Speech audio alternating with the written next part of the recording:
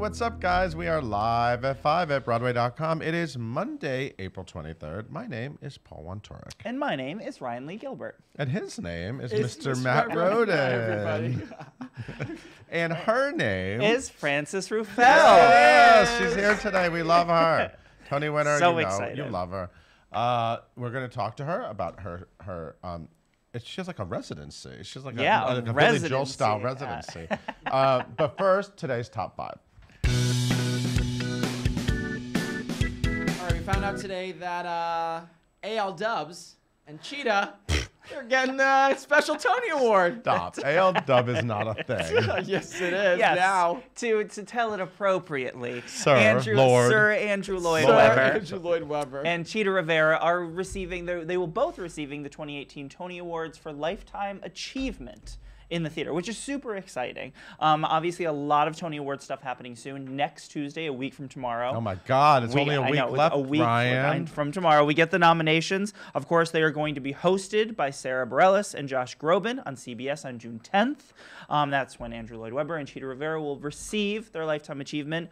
Nominations announcement uh, being announced by Leslie Odom Jr. and Kat McPhee of Waitress. And that's happening a week Smash from Friends. tomorrow. Are you excited? It's all I'm happening. nervous. I'm excited. Well, this is weird because all the nominations come out this week. Normally Everything's it's more happening spread so out. fast, So yeah. tomorrow's the Outer Critics. Yep. Thursday's the Drama Desk. Mm-hmm. Friday's the Chitas. The Chita Rivera The Awards. Chitas. Yes. uh, and then so it's all happening really condensed this So year. So I'm very nervous. um, we got casting today for Shakespeare in the Park. More casting for Shakespeare in the Park. Chukwudi Iwuji. Yes, Hope do I'm saying that name Yeah, right. I that's think I, you I, did, that's yeah. how it looks like. it. Fingers Uh, crossed. he- of the Low right. Road in the title role of Othello. Um, and Corey Stoll. Oh, Corey I love Corey Swoon, Stoll. swoon, Swoon Corey is Stoll uh, as Iago, and Heather Lind of Incognito as Desdemona. Ruben Santiago Hudson will direct So the production, which will run from May 29th, my birthday, through June Oh. 24th. That's right. A May, a May Corey birthday. Stoll's gonna give me a birthday Celebrate your present. birthday. Uh, uh, the 12th night musical uh, has been has added current transfers. Wait, the 12th night musical. Yeah. okay, okay. Okay. Remember, It's a remember musical this was. Remember Yeah. they Right. did this public as a public works. Right, that- Shaina Taub. Yes, right, right. Okay, Oskar Eustis is directing it. Okay, so they've added um, Ato Blankson Wood as Orsino. Um, and this is, of course, conceived by, I mean, maybe not a court, maybe you didn't know, uh, Kwame Kwei-Armah. Hope I said the name right. Mm-hmm. So, anyway, cool things happening in the park. And I it's can't finally wait. feeling like the I was right gonna Oh say my today God. is like the first Ugh. day that makes it feel like it's all possible. I was able to walk to work. oh, so nice. Uh, the cake, the cake, of a new play is getting a premiere in New York City. Ryan. Yes. So Bekah Brunstetter, she is a TV writer. She works on American Gods on Starz, and she works on This Is, Is that Us. still on? Um, I do. Did it get ren- I I know believe it Chenoweth is is still on. on Starz. Yes, but no more Bryan Fuller. He's no longer involved Oh, on Starz. Yes. Okay, I'm sorry. Um, but anyway, um, so she wrote The this cake, uh, cake, this play the called The cake. Cake. Um, she is an Emmy nominee, by the way. So this is happening with MTC. Um, their their off Broadway theater, the New York City Center, Stage One, going to be directed by Lynne Meadow. Um, it'll begin February 12th. So. A while from now, February 12th, and will open on March 5th. And this is What's the story. about, Ryan? So this is about a woman who has a North Carolina bakery. It's super popular. She's recently cast on like the baking competition show of her dreams. When the daughter of her late best friend comes to her, asks her to bake a cake for her and her female fiance's wedding. It's about making And- cakes for gay weddings. and yeah, how That's some what it's about. Yes, yeah, inspired by the case that happened in 2015, which is currently under consideration at the U.S. Supreme Court. We'll know the ruling probably sometime this summer. So it's quite timely. So very You know, timely. timely. But I hear the new thing at gay weddings is just pies. Just get pies. That's That's that's, what I've heard.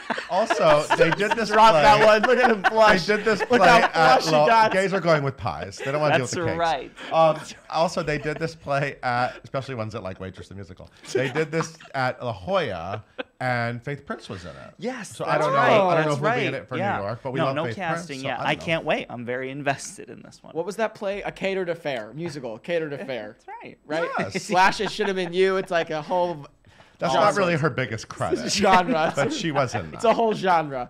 Uh, Lin won another award today. Lin-Manuel Miranda won another award. Of course he did. Oh yes, of course he did. because a week's gone by and he hasn't won an award. Uh, Very deserved. Hamilton Mastermind. That's what my notes say. I love the word Mm-hmm. mastermind. Exactly. Uh, Lin-Manuel. Miranda has won Actors Equity's 2018 Rosetta LeNoire Award. Uh, and this is given by Equity's National Equal Employment Opportunity Committee, and it honors an individual, theater, or producing organization. Obviously, they went with an individual this year, uh, with an exemplary record in the hiring or promotion of people of color, women, and actors with disabilities through diverse and inclusive casting. very That's cool re- award. It's a very cool award. yeah, Yeah. and that's a that, that's a really that's a really long-winded way of saying that Lin-Manuel Miranda's great. yeah. And we love Yeah. him. And he, uh, so yeah, he got the award today, and I think we have photos. Yep. We do. on the site Yep. of that. So congratulations, Lin. Congrats. Uh, we got a lot of other stuff on the site too uh, from last night, Paul. We were uh, Ryan, Ryan. You were there on fr- Thursday and Friday. I was. Harry Potter opened. Harry last night on Potter. Broadway. and the Cursed Child is open did you on love it? Broadway. I, I mean, love doesn't even capture how I felt about it. Um, I was blown away by it. It's incredible. Uh, J.K. Rowling, just let me bow to you, and was John there last Tiffany, night. and Jack Thornton. Oh, I know. I was like live. I was watching Matt on the red carpet live. I was very involved in all that. But so yes, there's a new red carpet challenge where if it's not up yet, it's It will be. about to go up Yes, in moments. There's a lot of spitting in it. Um, lots of spitting. Yes. Well, they had they Spitting had out? They And had swallowing. Yeah. They. okay, there's also opening night, red carpet, party photos, and then uh, Caitlin McNaney took gorgeous Oh, they're so portraits beautiful. of everyone involved. They're all just so beautiful and handsome and magical, magical and talented. and it's open. Go see it at the Lyric Theater. It's incredible. You won't regret it. What a, what a plug! What a plug! Thank you, Thank you so much. Thank for, you. for giving us the news. Of course. And now My we're going to get to Frances Ruffelle, so uh, you need to take off. I'm, I'm gonna leave. I'm gonna leave. Mr. Matt Rodin, will Yeah. you please tell us about today's guest? Francis starred as Dina in the original West End production of Starlight Express. She then played the role of Eponine in the first English language productions of Les Miserables in the West End and on Broadway, winning the 1987 Tony Award for Best Featured Actress in a Musical. She's also appeared on stage in Children of Eden, Chicago, Piaf, The A to Z of Mr. P, and The Wild Party, as well as movies and television. And she now has a monthly residency at the Green Room 42 and that's what she's here to talk about today. If you have questions for Frances, and I know that you do, leave them in the comments section below. We'll get to as many as we can. And now, here is Paul and Frances. Hi. Hello, Paul. Always love seeing you. I love seeing you too. How you doing? I'm good. It looks a little bit more theatrical in here. Since Oh yeah, I we, we here. ramped it up for you. It's a bit like Phantom of the Opera. Yeah. Oh, is it? You know, like all the curtains that come is in it- and out. Is, is it? Yeah, you're right. it's very theatrical. It's very, do you feel like you're on stage? I do. Uh, well, you are on live. You're on live television right now. How's it going?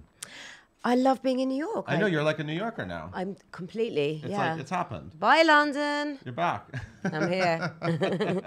and by the way, it's Dinah, not Dina. Dinah. Because Dinah is a Oh, dining, Dinah the dining car. dining It's car. Dinah the dining car. Dinah the dining car. It's He 'cause don't I- it's say 'cause of- Di- Oh, okay, car, do you? unfortunately, In his lifetime, he hasn't seen Starlight Express. And, Oh, and no, I Dina, feel so and sorry Dina, So he doesn't Dina is a character in the hey, band's visit. Dinah, what's wrong?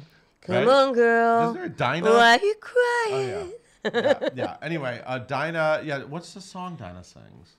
I've been U N C O U P L E D. Yep. Yep. That's a good Aren't they working on a revival? Have you got a keyboard? I would. How would you do a revival Starlight Express? Would you just do it the same, They or are- like some inve- reinvention of Oh it? my god, I dreamt about that only last night. but did. I have these nightmares that they they're going to call me up and say, "We need a diner now. We, we've run out. Come now!" And then I have to like skate around all these big bowls and things. I honestly, I literally wake up panicking. You have skating nightmares. Oh, to this day. Um, but actually, funny enough, they are doing a revival um, in London, but without the roller skate. Really? Which I'm not quite sure how that It's works. without the roller skates? Oh, is that the one they've been working? Yeah, I did know they were working on that. Right. yeah. Right. Right. But it, but Huh. the original um, was pretty amazing. I mean, the, the stage had a bowl, like if you imagine a bowl going all the way around the back, and it was around With behind the orchestra seats. Yes. Yeah, I remember. And then I, I mean, this absolutely truthfully, um, I went around the bowl like sideways as you do. You're part of a train, and I was the end of the train, and they slightly miss you know, guided it, and I went off the edge of the stage. No, I But like I mean, they had um, like elastic netting, so I, I didn't hurt myself or anything. But You I just- mean, you- they- they but that you in a net. happened. Yeah, happens? yeah. They, Well, I know when it was on Broadway, people were getting hurt all the time, but we, this really is not an interview about Starlight. Could be. Although I could talk about it a lot. Uh, you ha- you're like the Billy Joel of Green Room 42. I am. That's Yes. nice. I've never heard that before. Yes, Billy Joel. Billy Joel plays Madison Square Garden every month, and you play Green Room 42. I, yeah, just once a month. You know, I, I'm like, you know, have a nice life. I kind of go shopping in New York, eat lots of food, and then I'll go, oh gosh, I've got a show to do once this month. Yeah, yeah. It's a great residency one- once a month. Do you love having like a, a regular thing like that? I do. I, I actually would like to do it more regularly. That's a funny word. Okay. Um, Like but um, but uh, at the moment, you know, once a month is what it is, and it's really nice. I Yeah. absolutely love it. And the Green Room 42 are fabulous. They look after me, and the room's fantastic because you know some of the um, I don't like the word cabaret, Mm-hmm. the c word, um, um, but. Uh, Anyway, some of those sort of rooms, you, you have to sing from right to left, and you're constantly like turning your head. This is out. Yeah, you're right. You're you're the sort audience. of playing the. ro- Yeah, yeah. I know Yeah, what you mean. it's so easy to play the room, and it's a, quite a big room as well, so you can Yeah. fit lots of people in there. But it's intimate. and it's more affordable. oh, definitely. people, that like than some of the other rooms. Yeah. People really love it because it Yeah. has a little bit more of a cool, casual vibe, and it really feels Yeah. hip. And and you can see from every seat, but there there are some tickets that are very very cheap. I'm not sure what the cheapest is, something like fifteen dollars or Yeah. something like that. yeah, Uh, they'll probably kill me if I got that wrong, but um, it, it is pretty cheap. And the reason, and there's no cover charge, Right. So you can just sit there and drink water, and right. Yeah, you don't. There's no minimum. Yeah, Yeah, yeah, can that's what I mean by that, yes, minimum. Drink. Yeah, I but like it there. that's why I, I put it out on um, in, um, no on Twitter that I was looking for a venue that didn't have that wasn't expensive because I want you know young people to be able to go out to Yep. and enjoy themselves and not think about oh my gosh you know now I'm not going to be able to eat for a week, and so uh, and and somebody Ben Rimler came back Uh-huh. with the idea of Green Room Uh-huh. and and I'm so glad he did. Look at that. Yeah. The the power of social media. Yeah. We found you a, a better, more affordable venue. Yeah. I like that. I mean, of course, I'm poor, but that's okay. Well, okay. So the name of the show Yes. is Frances Ruffelle. How do you say it out loud? I say There's two ways to say it. There's, yes. there's two titles. I don't know. Well, It's a written title more than a spoke out loud title. Yes.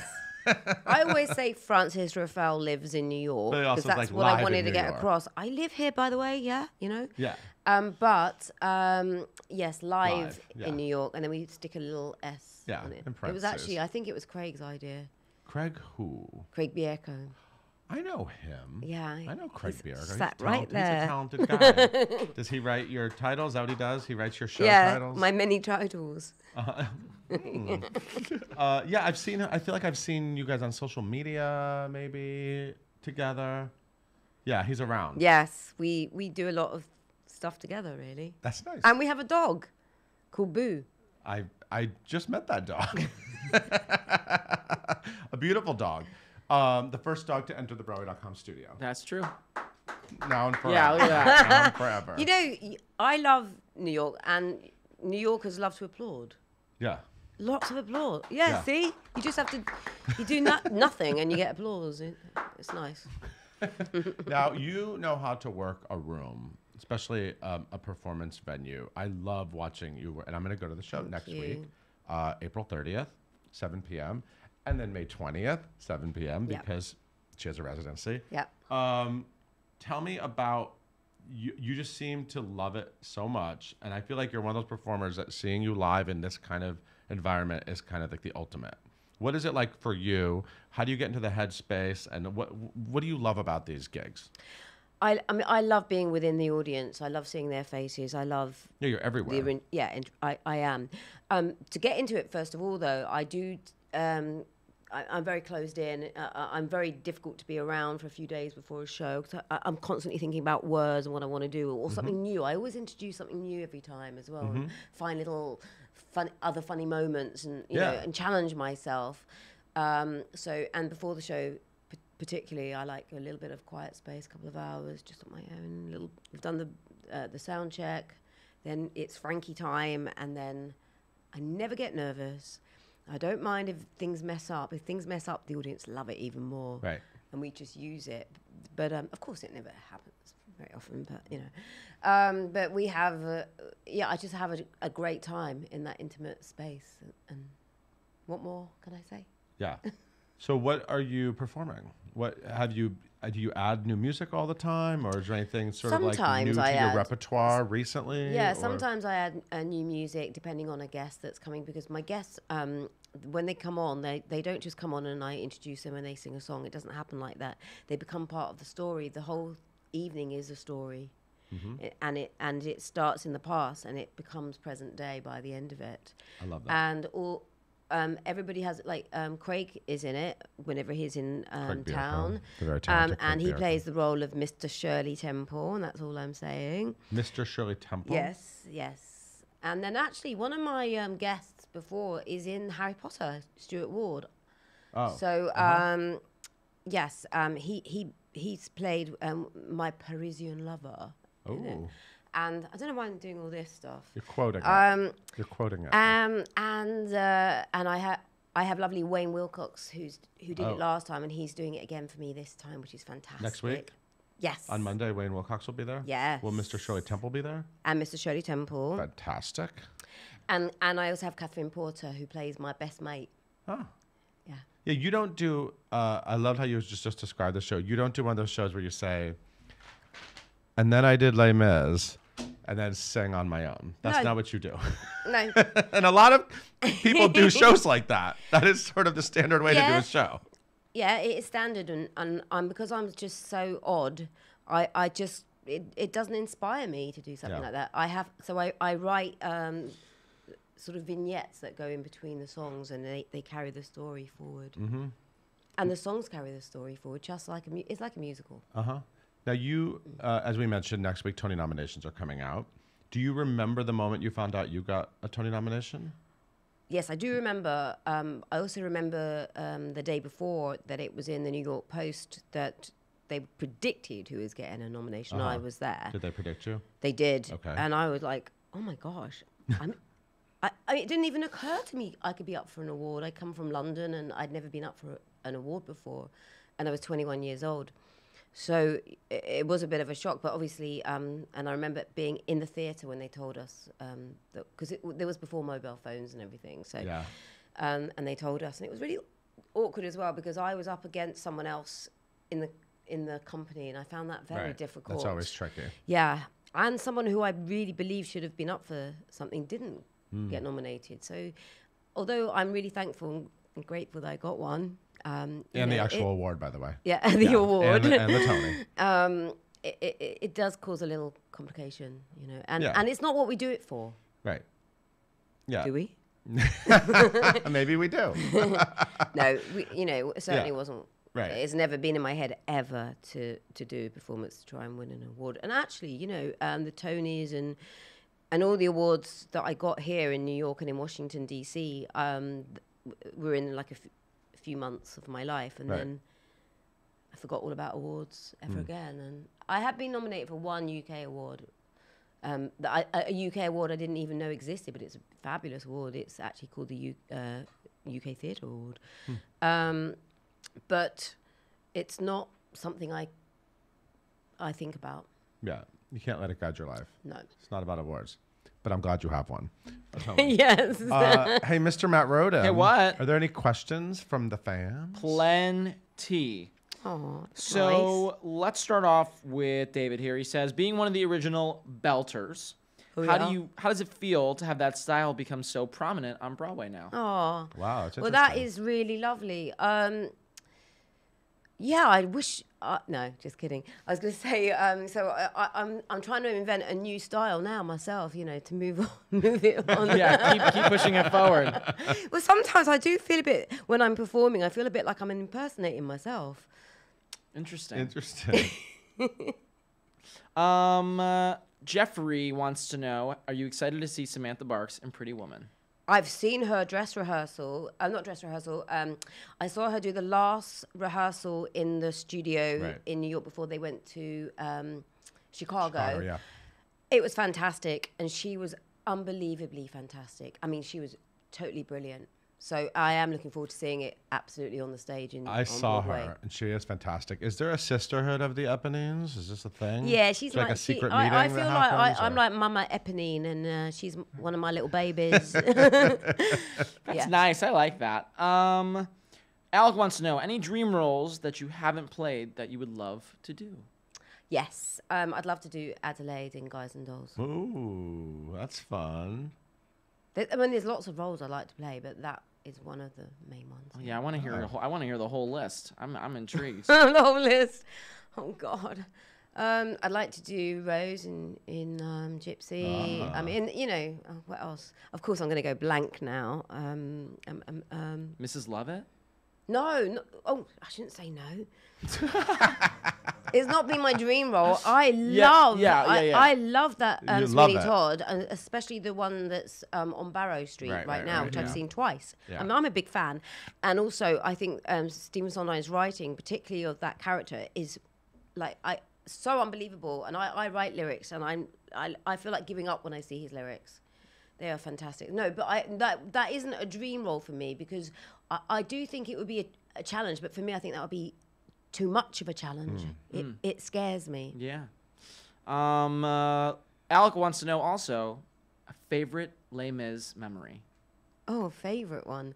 Well, my favorite one um, was watching the, the rehearsal in the in the rehearsal rooms in the sort of basement of the Royal Shakespeare Company, and just real sort of it- it loomed on me that my gosh, I'm in something so special and so fantastic, and that was my first memory, seeing Patty.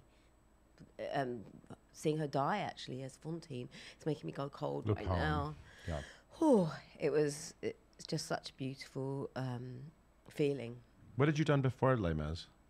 How did you get I cast in that? well, I the reason I got cast was I did Starlight Express, and I played Dinah. hey, Dinah, um, what's wrong? and um, so Trevor Nunn directed that, and he just when he came across Eponine and Les Miserables, he was like, "Oh, Frances just has to play this role." But then he had to persuade the French composers and his co-director John Caird that I was right. So he asked me to come along and sing an Edith Piaf song, um, which I did for them on, on a Friday night at six o'clock. And um, by the Monday morning at 10, I got a call saying the role was mine, and I was the first one cast, so I was very lucky. You know what's crazy? You you the Starlight Express cast was very young. So I remember on Broadway too. Yeah. I remember like Jane Krakowski was like 18 or 19 Yeah. when she did it. Yeah. And nowadays, like even high school musicals, no one people aren't even in their 20s. Really? I Wonder feel like people are being It's- you're cast right. You're- you're now. totally right. You're there aren't totally that many right. shows with like 18 year olds Yeah. in them. I was 18 when I did Starlight as well. And I met Jane when she did it as well. And we became really good mates. And mm. Yeah. Yeah, it's interesting. Mm. Yeah, because even the Harry Potter kids are not. You know, they're Right. they're old. They're yeah, I feel like people. Are, yeah, I don't know. Bring back the youth. Um, Yeah.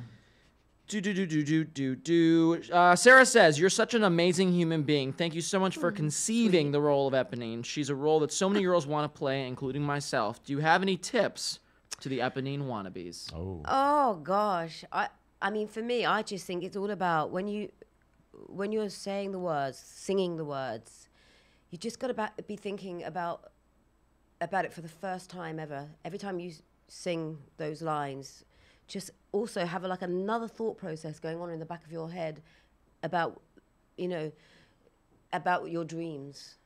And um, I always do that when I when I sing anything. I always have a backstory that goes on, so I'm thinking two things at once, and it ma- keeps it really fresh and raw. I think Eponine should be really raw, and I. I mean, obviously, I'm not casting it, but this is how I see Eponine. She she's from the street, and and, and in England, um, I know it's set in France, but in England, she would have been um, singing in old pub songs. She'd have had that kind of voice, like the real sort of rasping sing along type, um, old fashioned. We used to call it music hall, not music hall. And um, you know, for some reason, I. I that's how I feel she should be. She should wear shoes that are too big for her and walk like she's got these boots that she just found in the gutter and she's lucky to be wearing shoes. It's all about the movement as well and, and, and just bringing something different to the role. I think um, I hope that helps in a way. I feel like you just gave like 10 great. Yeah, like literally a master class. Like those actually were all amazing things you just said, and I can't wait to see all the community theater uh, Eponines that get to take advantage of all Take that. all that. Yeah, I was really upset when I got to Broadway because they didn't bring my boots, and I said, Oh. and they gave me nice little neat, you know, size. I don't know what you call it here. It's like size six, I think they Uh-huh. were, and I was like, but she wouldn't have her real size. Right. Could you get me some big boots, please? You know. Wow. Yeah. You want it for that. real. Last but Yeah. not least, Sanford wants to know who would win in a fight, Dinah or Eponine? We've been dying to know the answer to this. Eponine for absolute sure. For sure. She do. She she would fight. Yeah. Well, Dinah was just. Dinah was I mean, she was too a lovelorn, you know. Yeah. I mean, they, They were both, both were lovelorn. in different ways. Look Yeah. at you with the lovelorn roles. Yeah. Um, so I can't wait to go see you next Monday Thank at you. Green Room 42. And I'll be thinking during every song, you're going to have multiple things going on. You're going to be Oh yeah, you'll see it. thinking things and experiencing. And you There's just one came out of a dark particular- room for a few hours. I love thinking of all of that. There's one particular, um, all right with me. Just remember that when you when I sing that for sure. It's all that, that There's like three things going on in my head Three? at that point. Yeah. Okay, Yeah. I can't wait. Uh, okay, so April 30th at 7 and May 20th at 7. And you can go on the Green Room 42's website, Google it, And on my and my website, I always have the Oh, ticket links as and well. And social media. I mean, Yeah. you're all over the place. And I'm so happy that you lives in New York. I'm so thrilled you're here. I'm thrilled. too. Uh, hey, Matt, why don't Yeah. you I keep take us bashing out? this microphone. No, it's perfect. Uh, thank you guys, everybody. You guys know the deal. We do this live every single weekday at 5 p.m. here on Broadway.com's Facebook page, on YouTube. It goes out on our site, on the TV, the whole thing. And we release this as a podcast. So if you haven't yet, subscribe to the Live at 5 podcast. We'll be back tomorrow. Ben Thompson from Waitress is going to be here, and we will see you then. Happy Monday, everybody. Bye.